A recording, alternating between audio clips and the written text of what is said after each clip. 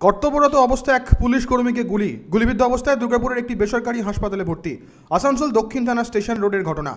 রবিবার গভীর রাতে টহল দিচ্ছিলেন তিনি। সে সময় অটোতে থাকা তিনজনকে দেখে সন্দেহ হয় আসানসোল দক্ষিণ থানার এসআই সন্দীপ পালের। তাদের ধরতে গেলে তারা পুলিশকে লক্ষ্য করে গুলি চালায়। তখনই গুলি লাগে তার। দুর্গাপুরের একটি বেসরকারি হাসপাতালে তিনি এখন চিকিৎসাধীন। দুষ্কৃতীদের খোঁজে চলছে জোর তল্লাশি। আসানসোল থেকে রাহুল পাসওয়ানের রিপোর্ট এএনএম নিউজ।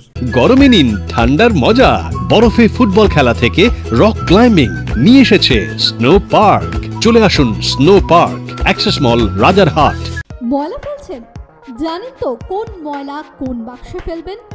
আপনার পদক্ষেপ আপনার পরিচয়। Green city clean city